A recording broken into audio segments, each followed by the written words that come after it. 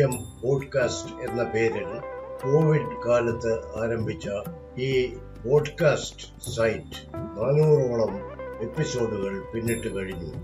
ഗൂഗിളിൽ പോയി കാവ്യം പോഡ്കാസ്റ്റ് എന്ന് ടൈപ്പ് ചെയ്താൽ ഇത് ലഭ്യമായിരിക്കും. കൂടാതെ ആപ്പിൾ തുടങ്ങി അനേകം പ്ലാറ്റ്ഫോമുകളിലും ഇത് ലഭ്യമാണ്. എൺപത്തിനാല് വർഷങ്ങൾക്ക് മുമ്പ് ഇരിഞ്ഞാലക്കുട കിഴുത്താനിയിൽ ഒരു മഹാസാഹിത്യ സമ്മേളനം നടക്കുകയുണ്ടായി. അതിന്റെ സ്മരണയിൽ രണ്ടായിരത്തി ഇരുപത്തിമൂന്ന് ജാനുവരി പത്തൊമ്പതിന് കിഴുത്താനിയിൽ ഈ പരിപാടി ഒരുക്കിയിരിക്കുന്നു. ഗവേഷകനും ഗ്രന്ഥകർത്താവുമായ രാജീവ് ഇരിഞ്ഞാലക്കുട തന്റെ ജന്മദേശത്ത് നടന്ന പുരോഗമന സാഹിത്യ സമ്മേളനത്തെക്കുറിച്ച് ഇന്ന് സംസാരിക്കുന്നു. ഞാൻ Vadakkanchery Sreevyasa N S S കോളേജിൽ പ്രവർത്തിക്കുന്ന കാലം ഒരു ദിവസം ക്ലാസ് എടുത്തുകൊണ്ടിരിക്കുന്ന സമയത്ത് ക്ലാസ്സിന് മുന്നിൽ ഒരാൾ പ്രത്യക്ഷപ്പെട്ടു. മുഷിഞ്ഞ വേഷത്തോടെ ക്ഷീണിതനായ ഒരു വൃദ്ധൻ. ഒരു പ്രതിഷേധം അറിയിക്കാനുണ്ട് അദ്ദേഹം പറഞ്ഞു.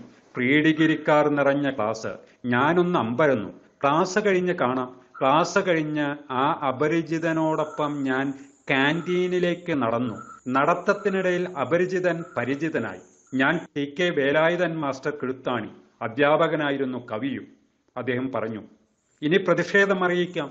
കിഴുത്താണിക്കാരനായ താങ്കൾ പേരിനോടൊപ്പം ഇരിങ്ങാലക്കുട എന്ന് വെക്കുന്നതിൽ എനിക്ക് അതിയായ പ്രതിഷേധമുണ്ട്.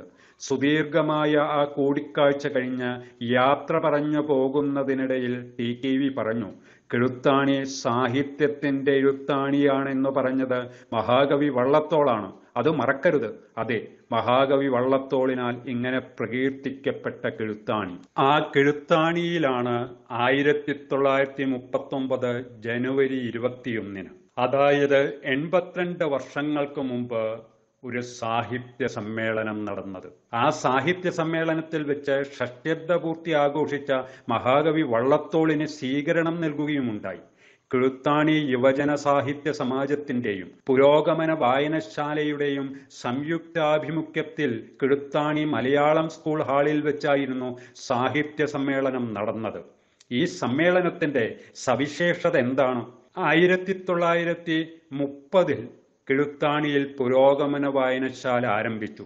ആയിരത്തി തൊള്ളായിരത്തി മുപ്പത്തിനാലിൽ കിഴുത്താണിയിൽ യുവജന സാഹിത്യ സമാജം ആരംഭിച്ചു.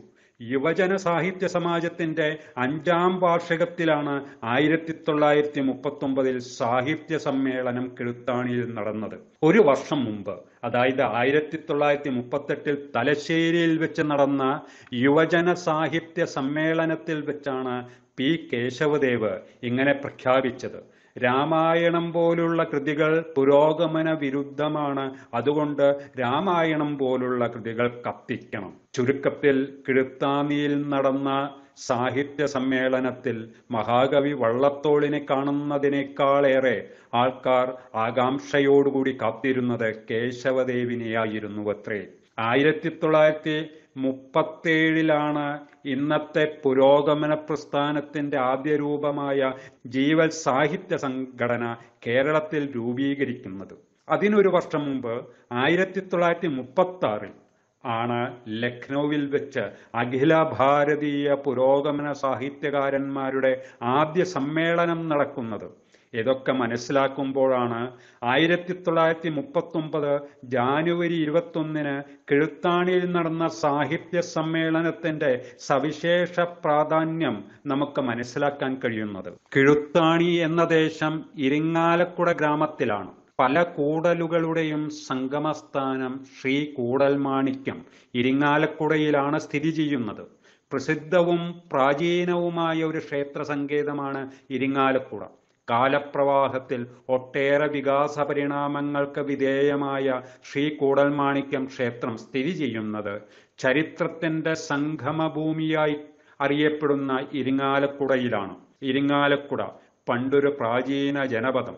ഇന്നത് ഒരു ഗ്രാമമല്ല ജനതിരക്കേറിയ ഒരു നഗരമായി രൂപാന്തരപ്പെട്ടിരിക്കുന്നു. ബ്രാഹ്മണാധിപത്യം സാർവത്രികമായി കഴിഞ്ഞിരുന്ന കാലത്തെ രണ്ട് സുപ്രസിദ്ധ ജനപദങ്ങളായിരുന്നു തൃക്കണാമതിലകവും സംഗമ ഗ്രാമവും മതിലകത്ത് ഊരാളന്മാരായ തെക്കേടത്ത് വടക്കേടത്ത് നായന്മാർ ക്ഷേത്രസങ്കേതം വിപുലമാക്കുവാൻ തീരുമാനിച്ചു.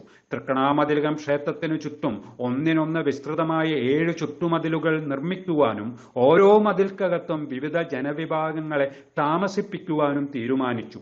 മതിൽ നിർമ്മാണം മുന്നേറി. ഏഴാമത്തെ മതിൽക്കെട്ട് കടന്നു ചെല്ലുന്നത് ശ്രീ കൂടൽമാണിക്യം ക്ഷേത്ര സങ്കേതത്തിലാണ് ഇരിങ്ങാലക്കുടയിലെ ആഢ്യൻ നമ്പൂതിരിമാർ മതിൽ നിർമ്മാണത്തിനെതിരെ രംഗത്തു വന്നു. ഉണ്ണാവൃതം എന്ന ഉപവാസയജ്ഞം അവർ ആരംഭിച്ചു.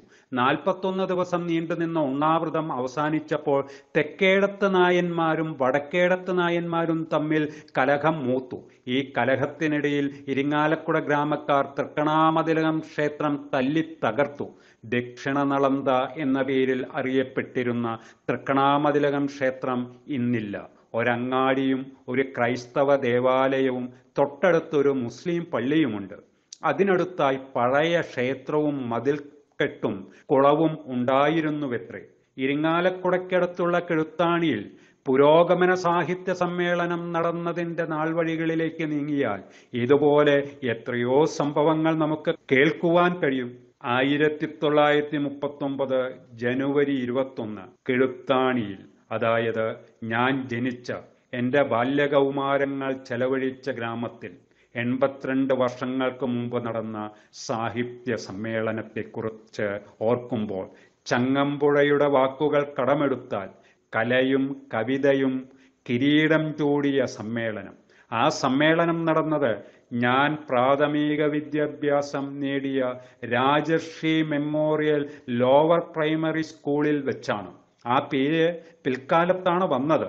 എന്നിരുന്നാലും ചരിത്രത്തിൽ നിന്ന് ഹരിതാപമായ ഓർമ്മയുടെ ഒരു ഏട്. അതാണ് സഹൃദയരായ ഏവരുമായി പങ്കുവച്ചത്.